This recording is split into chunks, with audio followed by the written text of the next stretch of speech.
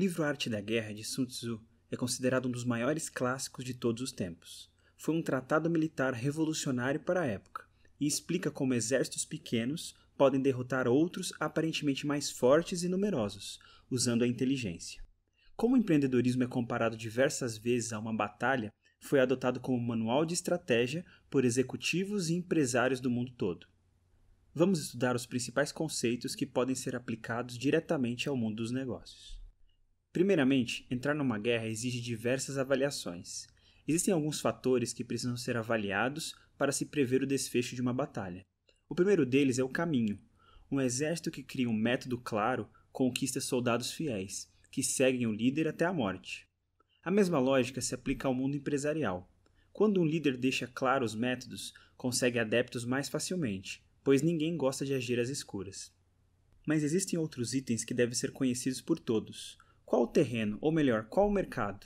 Como será a guerra? Quanto tempo vai durar? Quem será nosso líder? O livro também trata das características do combate. Raramente uma guerra longa é inteligente, mesmo que se esteja ganhando, pois desgasta ambos os lados. Muitos empreendedores se perdem na obsessão e rivalidades com os concorrentes, tomando decisões caras e irracionais, por pura vaidade. O líder sábio não age por ódio ou impulso, mas de forma estratégica. Algumas brigas entre empreendedores se tornaram famosas, como a dos fundadores do Facebook, que trocaram processos e acusações, deixando o orgulho falar mais alto que a racionalidade. Geralmente, ninguém sai ileso de uma luta dessas. É preciso saber a hora de parar. Apesar das guerras irracionais, existem aquelas que valem a pena. Para isso, é fundamental conhecer a si mesmo e ao inimigo antes de qualquer movimento, como diz a lei da estratégia de ataque. Quanto maior for sua força em relação a dele, mais se pode arriscar. Quando a Pepsi começou a aumentar as vendas, ganhou mais ousadia para atacar a Coca-Cola, inclusive com campanhas provocativas, com grandes chances de processo. Mas só fez isso quando podia brigar de igual para igual. Outra estratégia muito usada é comprar o concorrente. Isso torna possível vencer o inimigo sem combater, como instrui o livro. Uma aquisição traz no pacote planos, alianças e equipe do adversário, sem a destruição de uma disputa. A Blockbuster teve a oportunidade de comprar a Netflix por uma pechincha antes dela se tornar uma ameaça. Perdeu a chance e foi engolida. Para Sun Tzu, a guerra começa bem antes do combate propriamente dito. Como a batalha é formada sempre por dois lados, se tornar invencível antes de atacar o inimigo é considerada a melhor estratégia, pois a força própria é a única variável que está sob nosso controle. Diversas empresas só começam a brigar por preço e adquirir concorrentes quando estão próximas de se tornarem monopólios, pois aí a vitória é praticamente certa.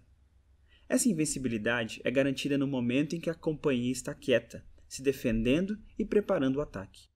Quem luta primeiro, na esperança de obter a vitória, acaba sendo derrotado. O certo é derrotar o inimigo na preparação, para só então se confirmar através da luta.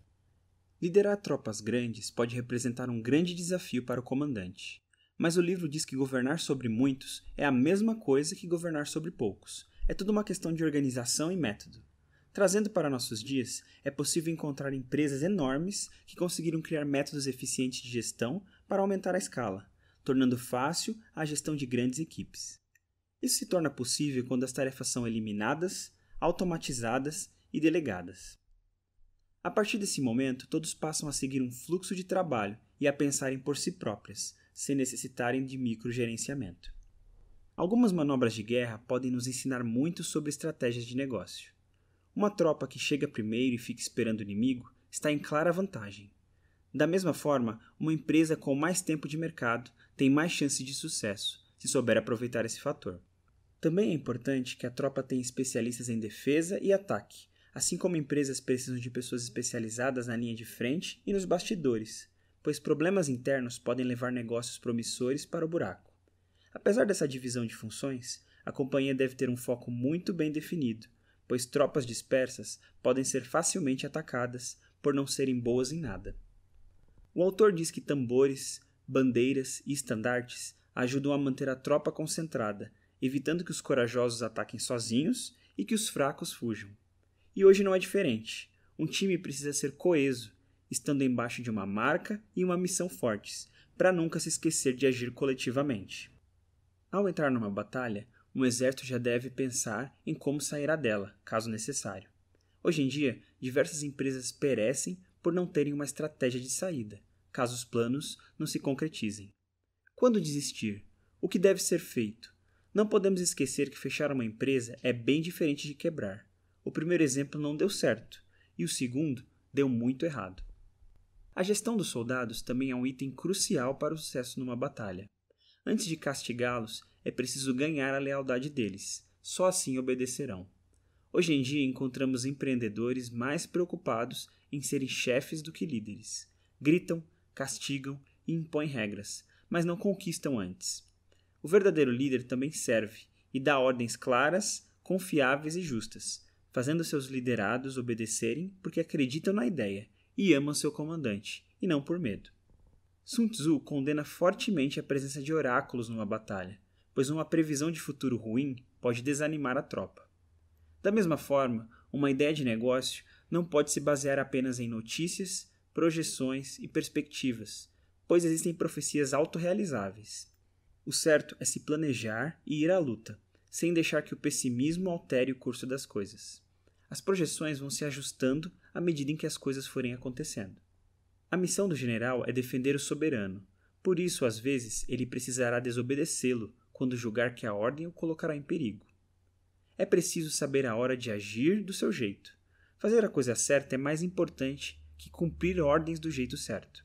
Quando Paul Pullman parou de emitir balanços trimestrais na Unilever, contrariou diversos acionistas da empresa, mas fez isso para poder fazer mudanças radicais e de longo prazo, o que trouxe grandes retornos aos investidores. Para proteger o soberano, precisou contrariá-lo e fazer as coisas de outra maneira. O último capítulo do livro se dedica a explicar o uso de espiões. O conhecimento mais precioso não vem de videntes, analogia com o passado e nem mesmo cálculo, mas sim de espiões que conhecem o inimigo melhor do que nós. É preciso saber explorar bem o conhecimento dos clientes e até funcionários da concorrência, pois eles possuem uma visão totalmente nova sobre como ela trabalha, suas forças e fraquezas, nos ajudando a planejar como superá-lo. E você, está pronto para a batalha? Prepare suas armas, convoque as tropas, tenha uma boa estratégia de ataque e defesa e conheça muito bem o terreno. Assim, suas chances de vitória serão muito maiores. Um abraço e sucesso!